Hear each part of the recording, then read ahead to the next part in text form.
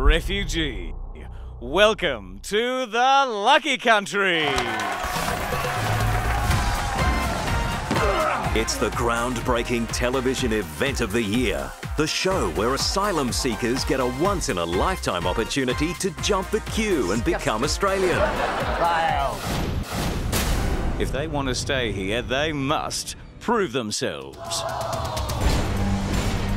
Don't be afraid, I won't bite.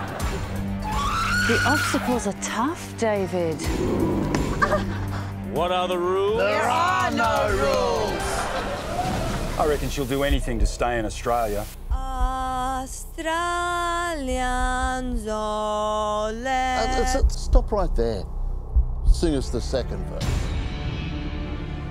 In Australia, we like our meat and we love our beer. You can't become a true blue Aussie if you don't enjoy it too. With Scottish land and all combined to advance Australia fair. See if you really